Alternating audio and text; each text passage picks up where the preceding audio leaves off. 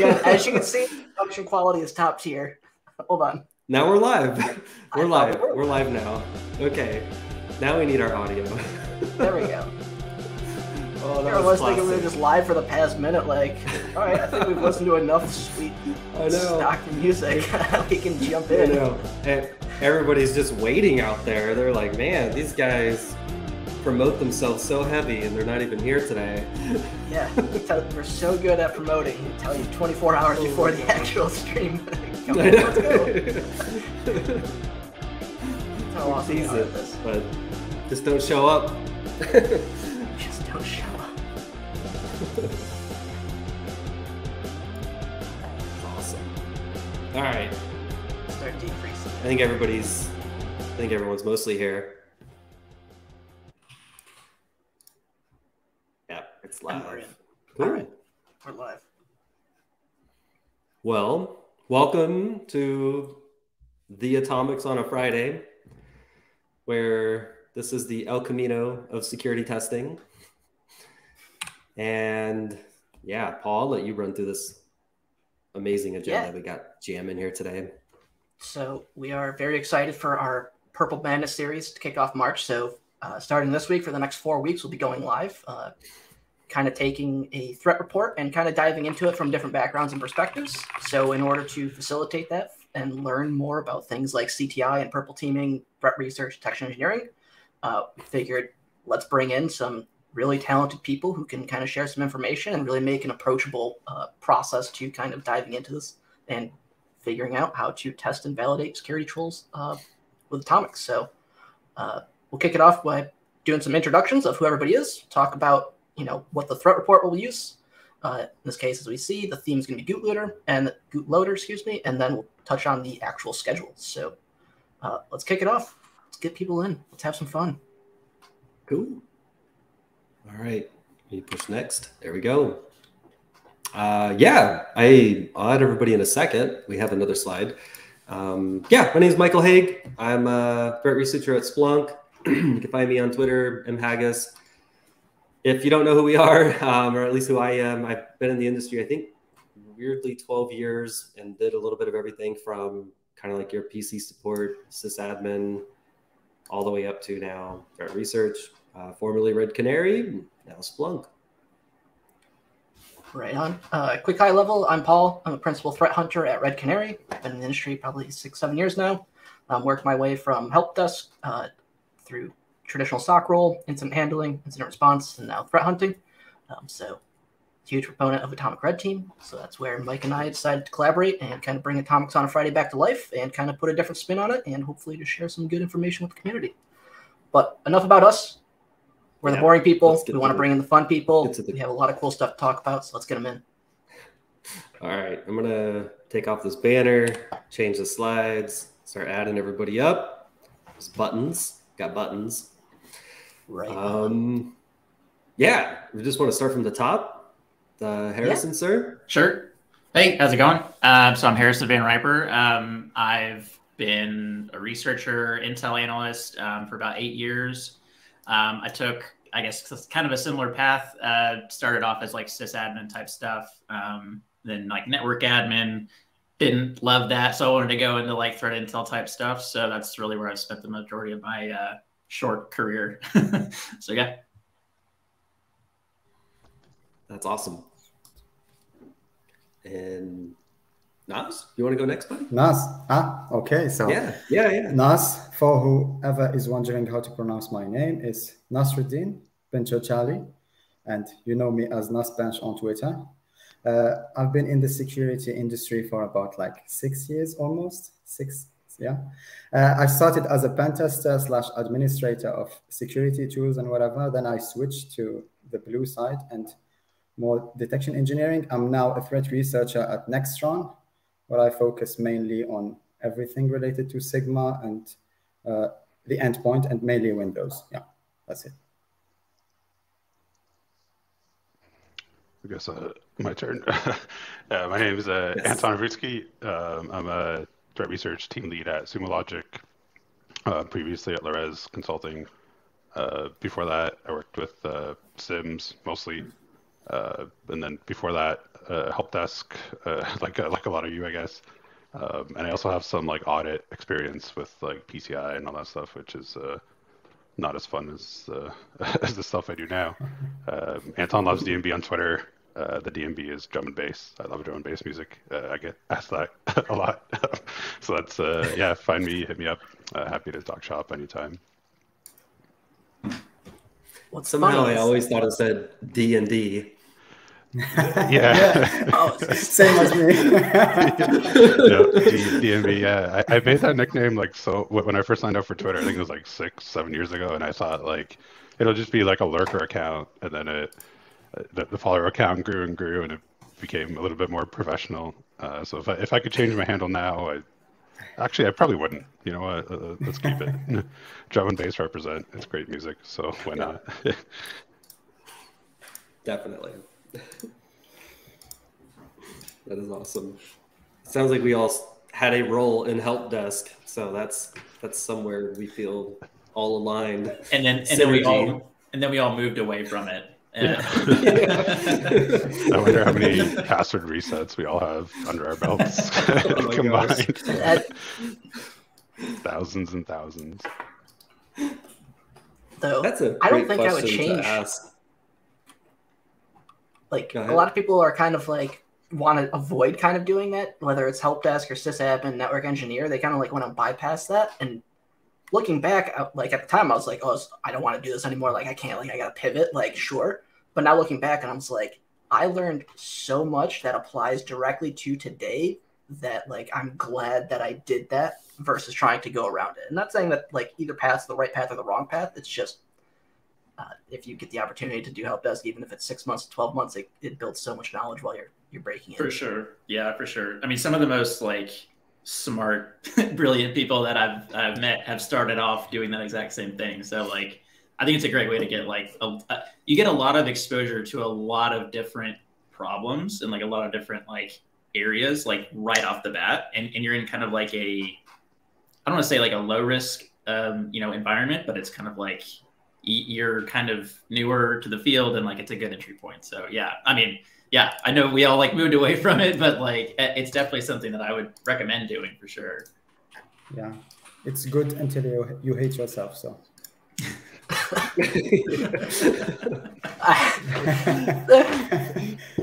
there are some down times for sure, just like in any role, but like don't let that be the deciding factor if that's the path you go.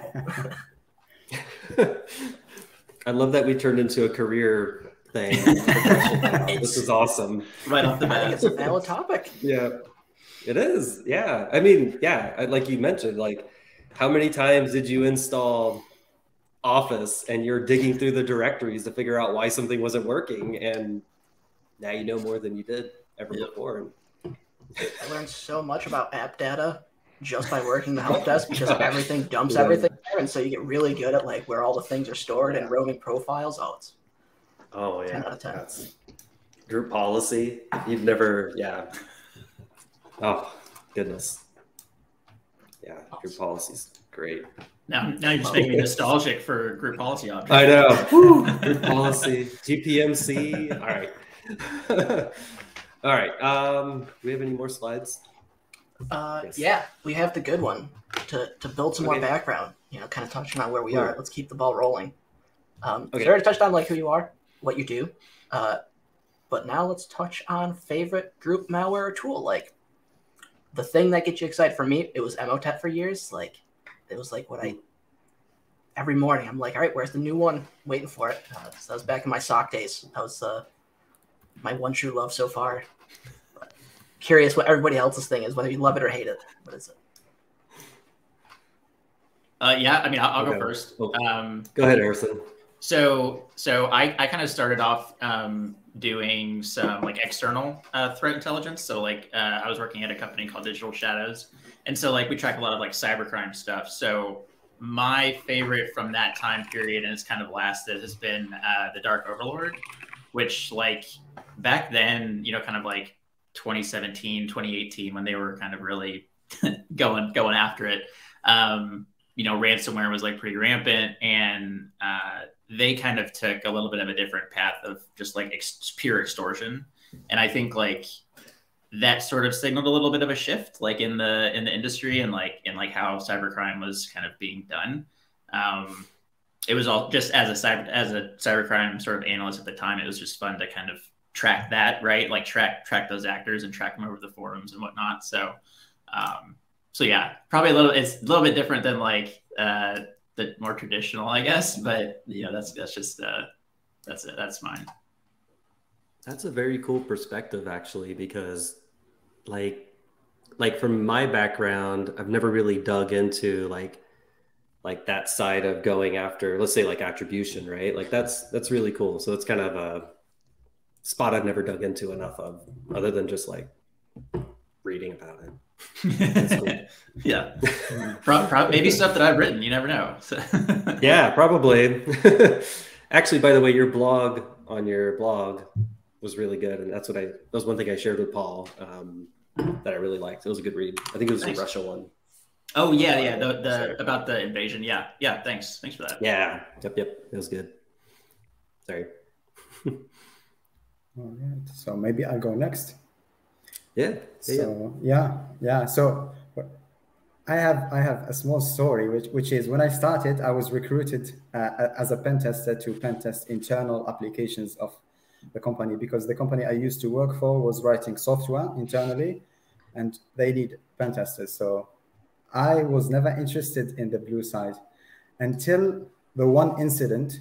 I think everyone has a similar story to some extent until that one incident, and we didn't have any incident responder. So we kind of have to uh, improvise.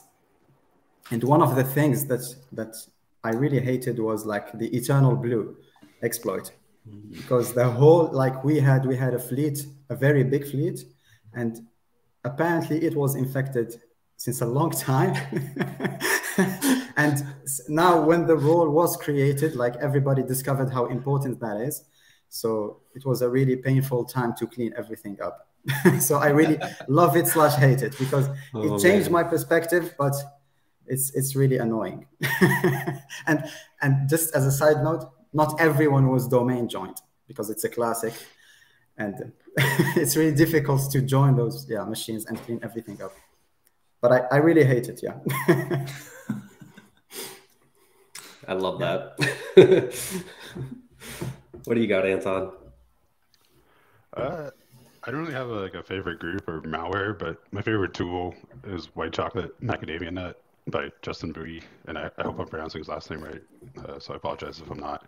Uh, I think like cookie theft is a really interesting technique. I love it. Um, it's just one of those things that it, it sounds big benign when you think about it. Like, what's the big deal if you steal my browser cookie? But then when you actually like think about the implications of like if you're able to steal a browser cookie of someone who's like MFA and all that stuff, like how powerful that is. Uh, I just I, I, love that technique, and I love that you can like tunnel it. Um, just such a cool tool. The way it starts like Chrome and headless mode and all that stuff. So I don't know. As soon as I saw the blog where, where he outlined that tool, I, I, fell in love with that, with the tool itself and the technique and everything. Uh, so I, I don't have like a I don't know much about like malware families and all that. Just like you, Mike, I, not my bag, but the the tools. Uh, I think it's a really sweet tool. But yeah, I think it's interesting because uh, you know before we got live, we were talking about like identity and how identity is kind of going to be like the, the, next frontier of where it kind of takes place, and you kind of already starting to see the shift of it. Uh, but cookie theft is just one of those ones that fits into place, especially like your point. You know, MFA. Like if you can get the MFA session inside, like that's that's it. You're, you're good to go. Yeah, there's a ways but I remember the first time I tried it like on one of my like test boxes, like signed into a browser and then opened another one and just shoved that cookie in. I was like, oh my goodness, like this is like this is more powerful than Mimikatz. Why are people like like so obsessed with Mimikatz? But this is like crazy. So yeah, I don't know. Just love love the tool, love the technique. So it's one of those like is, you're like, oh, how bad cool. could this be? And then you like realize how simple and stupid, and now it's like really bad. And you're like, all right, here we go. It's Down the rabbit hole. Yeah, yeah, and like the detection opportunities with it too. Like, there's a couple, right? The command line and all that stuff, but like the there, there's not an event in Chrome that says like, "Hey, your cookie just got like swiped" or anything like that. So just an interesting problem to solve, interesting technique all around. So that's my favorite tool. It's hard to detect the cookie monster. That's right. yeah. Until your cookies are all gone, that's how you know.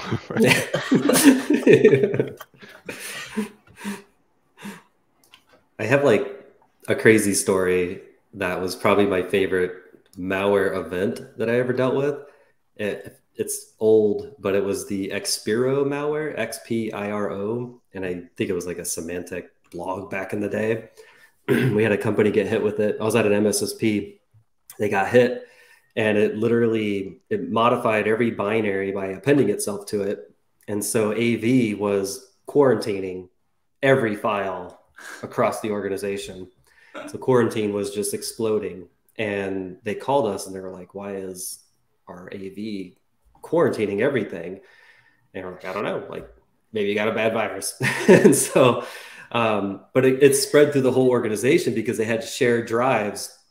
So everybody would click on the files on the shared drive and they'll just keep spreading endpoint to endpoint.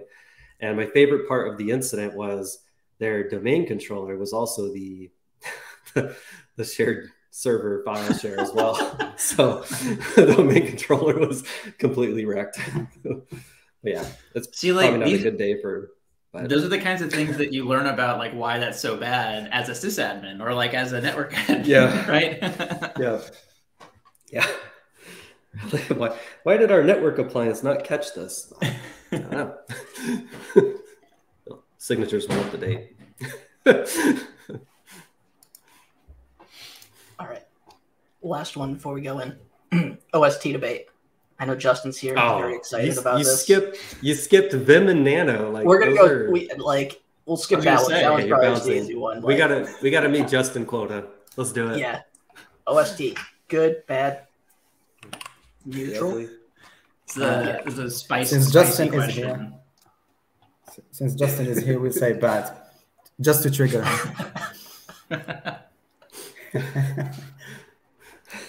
um. So I guess uh, you know, I mean, may as well just say anything at this point because like it's gonna it's gonna go off the rails. But um, I, I think like I think like I think my TLDR would be like uh, neither, which is kind of like a cop out answer, but like I think it's just like the way that it is right now. Like that it it's just they exist and like you have to just have to deal with it. So um so yeah. See, I know. I mean, like you can say anything; it just doesn't even matter. Um, so, but yeah, I mean, like I think the intent, at least from my perspective, has been good. Right, the intent behind them is typically good. Um, I think the result of them though can be bad, so it's kind of hard to like balance it out. Mm. Um, but yeah, I'll, I'll, I'll, stop there before I before I get to, get into much more. yeah, I, I think like I think the outside of like Cobalt Strike and that being leaked or stolen or whatever and cracked and shipped, but like think of Havoc, right? Like he creates it to to learn. He's young and he's he's creating it to learn something. Then he releases it. I don't. I mean, in a way, I'm kind of like, well, what we, what did, what did anyone expect at that point? Of course, it's going hmm. to be abused, you know. So it's like, if you're going to release it, it's going to be used no matter what. I think in malicious hmm. instances, Nimplant, great example. Nimplant, early release to people who want to write detections. It's released, and we already see it popping up everywhere on Shodan. you know, so yeah, yeah. I, I don't know. I, I guess I'm a kind of a neutral stance on what I'm saying, but it's it's kind of like if you release it, it's going to be abused. I yeah. How, how I think of it is like that there are two sides. So there is the, the high level side, which is the researcher EDR vendor side, and there is the normal people side. What people tend to forget is sometimes that not like the discussions in Twitter and the detections in Twitter are only a fraction of what happens. And like 90% of how you get your detections, you'll get it via a vendor and if you try like to do the contrast, that the C2 frameworks help you understand the techniques and helps the researcher more than the simple user because the abuse, the chain between the abuse and the detection release via the vendor is not as quick. So I think it's good for, for the researcher because it's always good, but for the end user, I think the issue is here. like people tend to forget that the end user most of them don't have like security administrators. Most of them don't update their signatures every day and all that shenanigans that comes with it. So that's the bad side of it. But the but the good side is i mean you advance the security research. Like half of the techniques or half the detections were, were, were created because the, this, the offensive side created those tools. So like a, a good example is Mimikatz versus Microsoft like the advancing the the like he forced microsoft to do some changes which is good but at the same time we have still people running xp so or yeah. running windows 7 so like it's expected but what do you do yep. yeah.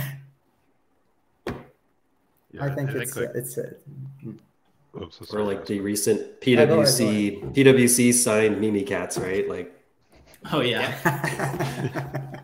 I bet they want go. that one back. yeah, I, I, think for me, like the it, it's a very spicy topic for a Friday afternoon, that's for sure. but the uh, the like, I, I think it's important to acknowledge that without the contributions of OSTs, like a lot of our careers, or at least mine, wouldn't be the way it is today. That's for sure. Like, I remember um, when I was like really deep into some stuff, you know, like people like Casey and Matt Gray were tweeting out all, all these techniques left and right daily almost.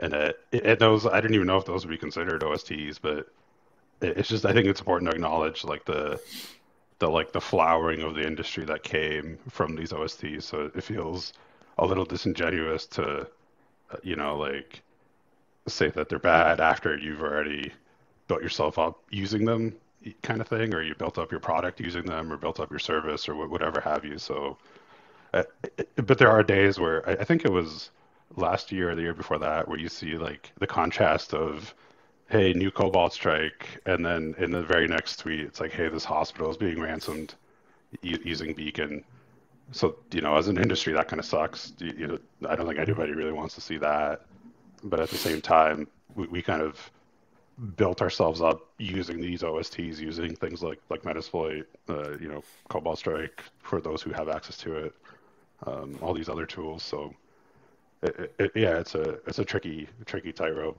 I, I I will say that the at least like the discussions nowadays seem to be much more respectful with it. But I, I remember like last year or two years ago, the industry was just like tearing each other apart o- over this, and it was really like kind of crappy to see at the time. So I'm glad that we kind of got over that and we're talking about it in a more like professional and respectful manner.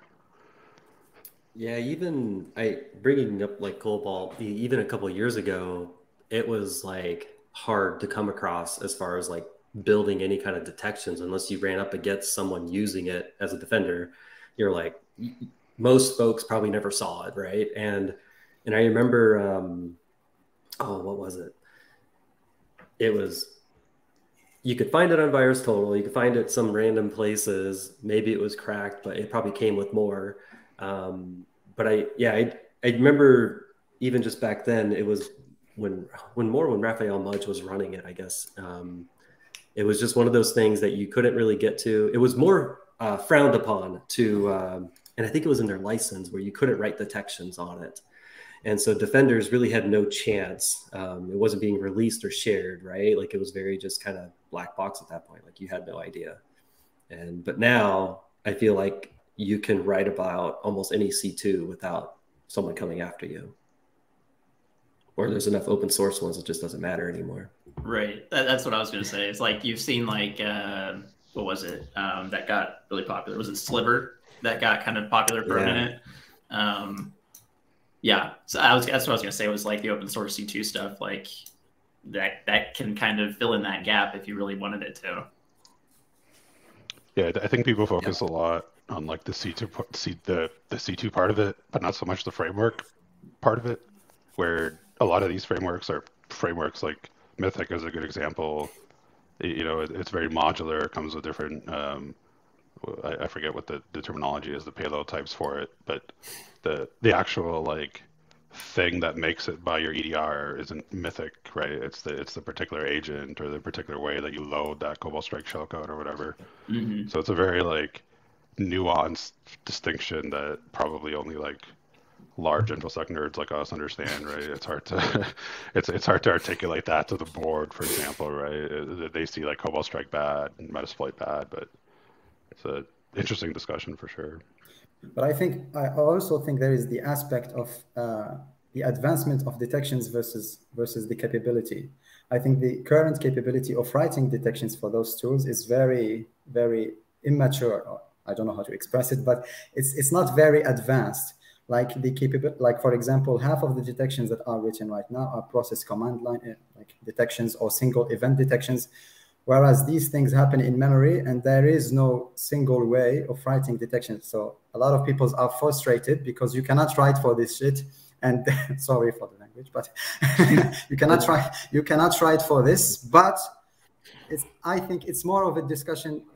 As I said, it's a high level. It's actually an EDR problem or it's an industry problem versus like a, a, normal people problem or an engineering problem. Like if you're working in a company, you're working with the tools that you have and the telemetry that you have. And if the telemetry is bad, well, you cannot do as much. But the advancement of the offensive side versus the defensive side is the real issue here because I think a lot of people from the defense side see that they we didn't reach that level of like writing detections for that kind of stuff. I mean, half of the people aren't talking about like correlation, even though it was introduced in SIEMs like in 2003 or whatever. like this distinction, I think it creates frustrations, and this frustration is expressed like I hate C2s. I mean, there is a, a like 80% reality, which is when you release something, you gotta own own up to it, and it will cause harm eventually because people are abusing it. But at the same time, like we're still seeing uh, like how do you say run DLL being abused and nobody is talking about it. So this indicates that detection isn't really advanced as people are saying, but nobody wants to admit it. and at the same time, like like C2s are good, but yeah, people need to calm down. I think kind of going off of that is that the, the blue team hasn't really pushed as aggressively as like the OST side of things, like the red teaming tool development, right? Like, and it could be a number of things. Like, I think it's also like time and dedication to it, like the amount of people to dedicate to spending times analyzing, figuring it out, and really getting a, a good grasp and understanding of it, right? You got 10 new C2s last year as an arbitrary number. Like, that's time to go look and investigate in all of them. Not saying that it's a bad thing, but it, it is a challenge. Um, but I feel like there is an opportunity from the industry as a whole to be more transparent about detecting and actual prevention, not just buy our stuff and you're golden. Like that's just black box and you have no idea if it's true or not unless you then go test and validate against it. Um, so I feel like there is the opportunity for us as defenders and purple teamers to go push that even more. And things like Sigma is a great start. Uh, things like the, the Rodriguez brothers have done with the um, data testing, given the, the, data out there so you can go kind of analyze it um, again, still manual efforts, and there's still time investment to go then make sense of that data. But it is an opportunity to to push even more and, and figure it out at scale and be more transparent. I think that's the big thing to kind of counteract the offset. And Randy's comment in YouTube, which is I'd always rather have access to the offensive tools I have to defend against than constantly be surprised by the stuff I know nothing about. I think that's a great perspective. Like, yeah, dump them all out because then at some point I'll get to it, but still going to need to, to figure it out. But yeah, I'd rather know about it than be blind to it. And you see some of the cool things that like MDSec is putting into their Nighthawk agent and platform. If you go read about it, some of that's really slick, and I'm curious how it comes about. But I can't touch it yet. But at some point we'll get there. Um, so it's kind of interesting to think about it. Yeah. I'm for it. More offensive tools, but we need to counter. Yeah, even even Brute right? Even just the simple leak that it had, uh, the two versions, I think, like that that alone brought some new, you know, tradecraft out to the wild that maybe folks had never seen, and there it is, you know. And to Nas, your point, it's it's hard because it's like everybody has a different product and there's only so many things that can do mm. detection in certain pieces and, and points and, and, points of view or optic into certain things and i remember there was an maybe there still is an edr out there that uses like yara for memory scanning and you know it just it all just it's everywhere still. you know, not every product is the same either. There's some that capture uh, like script block logging, and then there's still some that don't. Like, man, like where are we here? Like this should have all been done by now. Yeah, I think that's I think that's a really good point. There, there's not a lot of um, comparability among uh, you know among that big range of products. Um, yeah, I, I, think that's actually a really good example of like the script block logging. Like that's something that you know it, it seems so obvious, right? Obviously, I know I'm not I'm not an engineer on the back end like developing that kind of thing. I obviously know that that's going to be more difficult to like really implement, but it's been a thing now for like a long time. So like let's try and let's try and like raise that bar, you know. But um, yeah. but yeah. I wonder if the bar was raised high enough. One, one additional thing is such a discussion. Yeah. Oh, sorry. I was just gonna say, like, I wonder if, if if people had like a network where you had like application control, segmentation, hardening, and then they would be like, "What's C2?" Like, it, it doesn't matter to me, you know, whether it's whether it's a mm. run DLL with a Nighthawk DLL or a run DLL with a Cobalt Strike DLL, it doesn't matter. We, we don't we don't allow that in our network. And and I've worked with a couple customers like that back in the day, and it was uh, it's very it, it changes the paradigm completely when when when they have like that kind of control over the network. But it, it's always the people. It, it was never like the product, right? Everyone has the same. I don't want to say the same budgets and the same like means available to them, but that you know companies are fairly well off, the larger ones, that they could purchase whatever they need to purchase. And, and, that usually wasn't the differentiator. It was always the, the team behind that product and whether they mm-hmm. like really cared and cared enough to like roll up their sleeves and like dig into the logs and make sure that that like cobweb server was still sending the logs and stuff like that. And, and that made the difference, right? That, that the, the, those people don't need to worry about the, you know, the new C2s or, or, or like, as cool as Nighthawk is, they probably don't need to worry about Nighthawk either. It's just a just an interesting paradigm. Sorry, Naz, yeah, go ahead. Yeah, I was just going to talk about the the aspect of logging and product based logging versus the actual capability of logging. Like if you check out how you can write detections, you either can express them via the product language. And if the product can't or can't provide that telemetry, then uh, quote unquote you're you're stuck. You cannot write that information or you cannot write that detection. And the in contrast for example the, C, the c2s or any offensive tooling has access to everything. Like he has access just imagine that if you want to write a tool you have access from the windows api from the low level to the to the highest level. But from a logging perspective you're very limited to first by the vendor what he is showing us like either process creation or whatever and the, the, the telemetry capabilities right now are very limited and we don't have control over from what choke point we collect the telemetry. For example, process creation is easily bypassable. Doesn't mean doesn't mean that it is bypassed in most cases, as we've seen in reports. But the fact that it is bypassable and you can't do anything about it except for changing your source of telemetry and go look, for example, at ETW or whatever, I think that's an issue in detection that's not talked about enough. Like we're very limited by the vendor, and the vendor is a software company that has a, a, a chain of updates, and you're limited when they will release that updates into. And like you cannot advance at the same level as anyone from the offensive side, which is a shame. but and there is the, the people aspect of it. Like when you try to write detection, you need people, you need research, you need whatever, blah blah blah. But the idea is the biggest issue is like detection right now is a telemetry issue. Like we cannot control it. And two, most people don't understand at what level they are detecting. So it's it's a really complex issue, but but to be able to to go ahead and speak at that level of where the OSTs are, you need uh, a, a level of understanding that isn't that isn't provided by the vendor right now. Like Sigma tried to solve this issue, but maybe not yet, but we need like a unification of logging and a capability to describe our detections in a more generic way and in a more detailed way. And where the detection engineer has control to write what he wants to detect. Yeah. I'm going on a tangent, but stop me when I stop me when I when I, I this was your No, you're good. I think this was a tweet you just shipped out, right? Um, 20 hours ago. yeah, yeah. Part yeah, of it. Yeah. Yeah. yeah, yeah, part of it. Yeah. yeah. yes, I love it. That's awesome. Yeah, this has been fun. Good discussion, and uh, kind of we'll catch up and just kind of get into some different perspectives, which is kind of why we're here, right? We want different perspectives as we go through this March Madness series, uh, Purple Team Madness.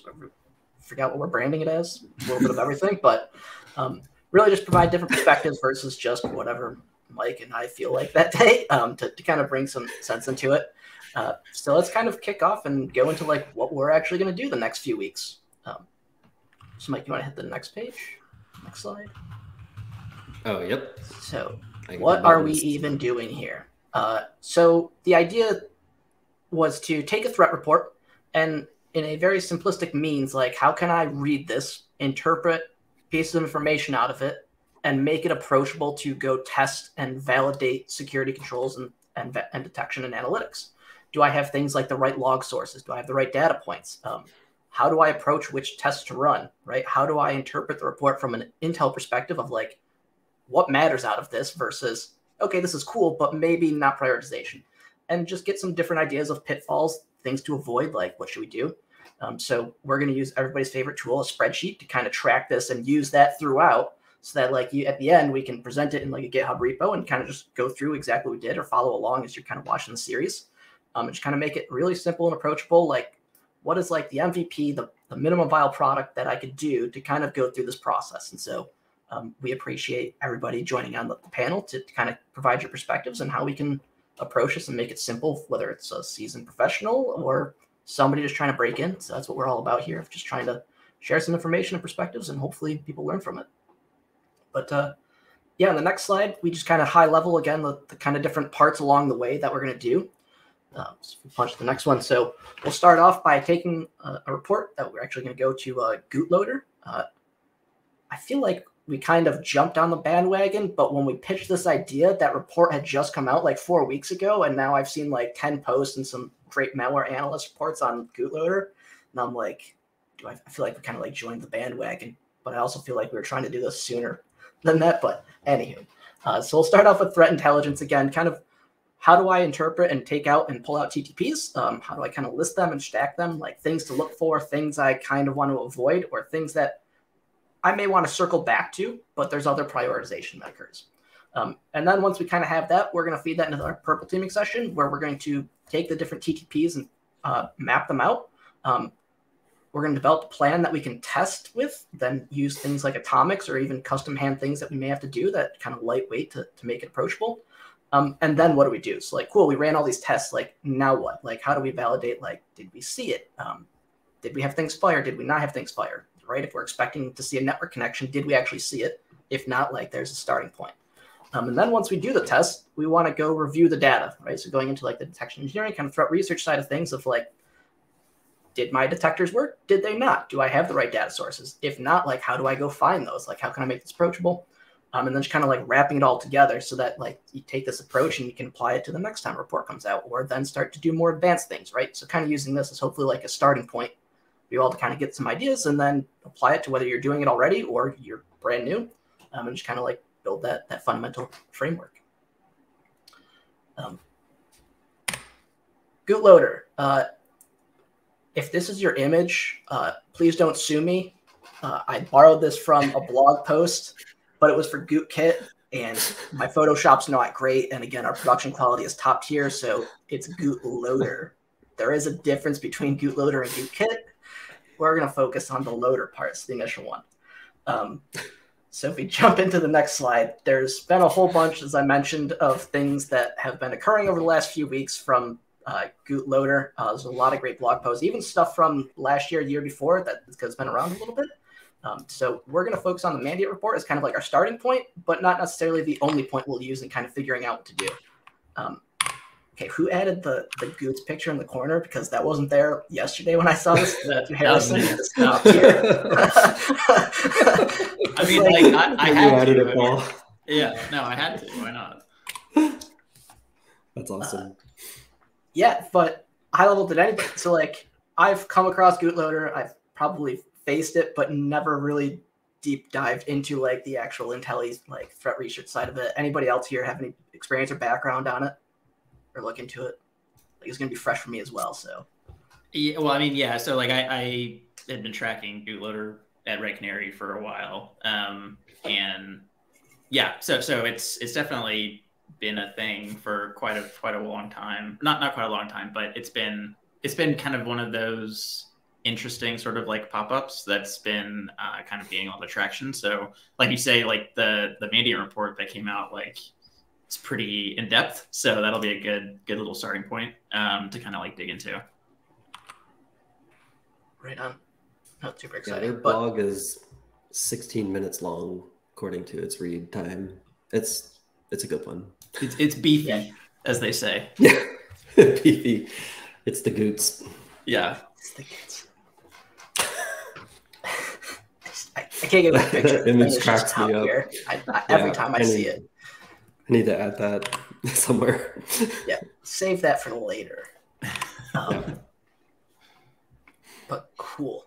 Uh, no, so this will be very exciting. So uh, again, I started reading into it a little bit today. We've come across it, but my my perspective is like I don't necessarily care what the evil is, other than this thing is evil and we go handle it type of thing. So that's always been like my thought process.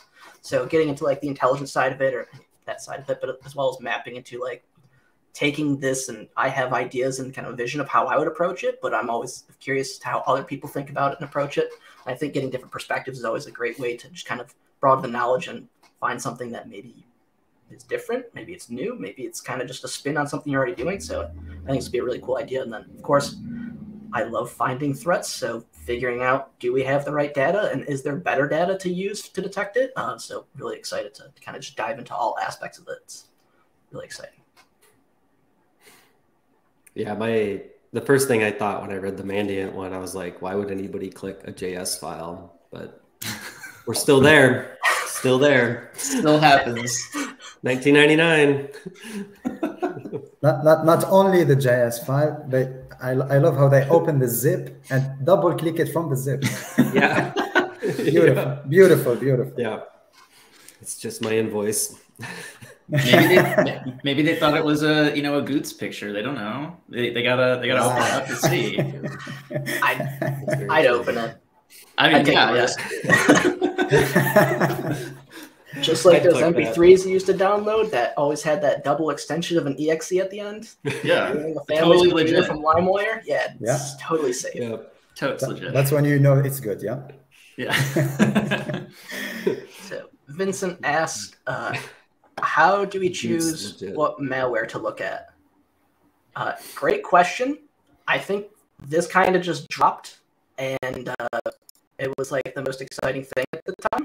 Uh, there was a couple other things, but it was like just kind of like this is a great report. Like there's a lot of information in here from just all perspectives. Um, so we're not really necessarily focused purely just in, uh, on this, but as like part of this kind of series that we're doing for March, uh, we kind of wanted to stick with one central theme, and this is kind of like that. There was no like real rhyme or reason other than it dropped. It was super cool. Had a lot of different perspectives that we could apply to it and think about. But generally, we were kind of like threat agnostic, if you will. Like we'll take anything and everything and kind of dive to it.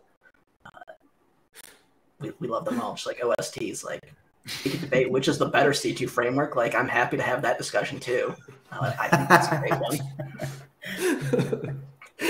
Like That's a good discussion. I mean, honestly, it is. Like, it's really interesting. Like, we we should do a separate series just on like which is the best C2 framework and get some other people on. I think like we could have like 20 people going, and this With, diff- I was, I was gonna say that's gonna be a it's gonna be a spicy conversation. Even even Yeah. just the OST, just broader conversation is spicy. But then getting into like what's your favorite C two, then yeah, I never did debate club, but I feel like if we structured it like debate club, I think that would be a really killer thing. Like we There could probably go. do some put like some charity aspect around it, like raise some money and just donate it out. Like I think that I think we'd get a bunch of people involved for that. and Have a blast. You with can, it. uh, the charity could be a children's hospital that was hit by one of these things.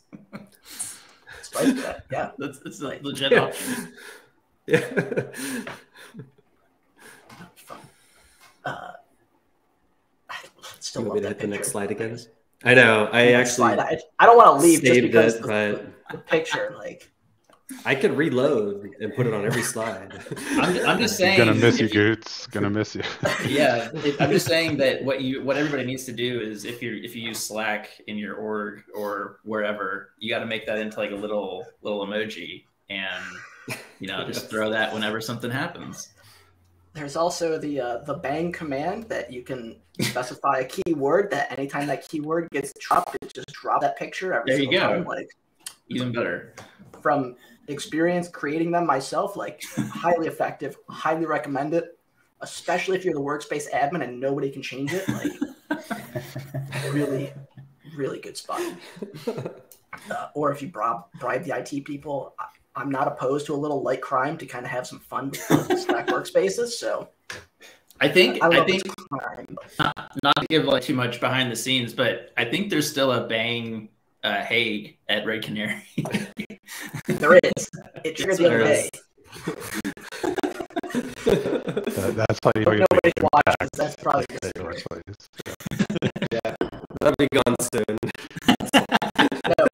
I'm gonna go add four more, not just a yeah. secret hidden ones. Put it under goose. The threat model is about to change after this stream.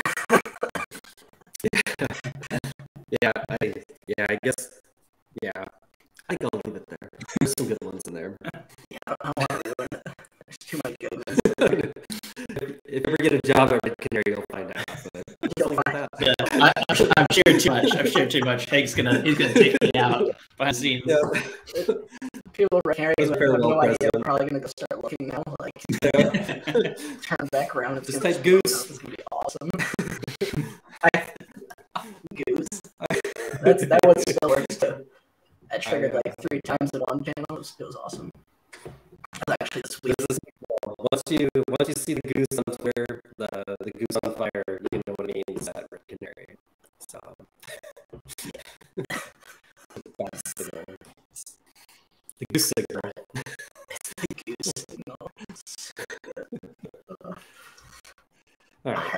next slide now.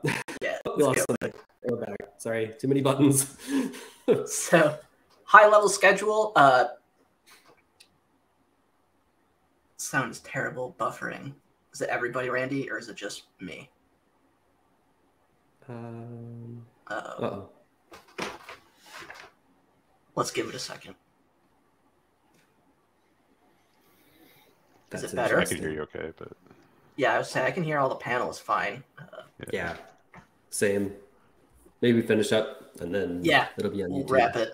Uh, thanks for pointing that out. Um, this is again a very low quality uh, production that we put on here, so uh, I'm not expecting too much. But uh, schedule. Uh, so this will be uh, one o'clock Eastern, 1800 UTC, uh, going forward for the next ones. Um, and we'll modify. If, you know, everybody's got busy schedules, so if we need to modify, we'll of course do like a recording and put it out. Um, so we'll keep this going. Um, so if things come up, but uh, so we'll start off with uh, threat intelligence with Harrison next Friday. Then after that, we'll go with uh, Anton doing some purple teaming and planning and mapping some atomics and ripping some tests. And then we're gonna wrap up and and finish it out with Nas on the 24th and really dig into some data sources. So really looking forward to all these. Again, thank you all for for participating. I think this is going to be a great uh, series, and we're looking forward to uh, digging and having fun.